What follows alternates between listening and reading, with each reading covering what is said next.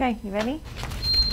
Cody, the golden retriever, has an appointment. You want to go say hi? Go say hi. Good boy. It's not at the vet, though, it's work related. It's something we've always wanted to do here, but we could never afford a dog. So now, at the Sexual Assault Resource and Counseling Center in Lebanon, four canines from the therapy service K Pets will be visiting weekly.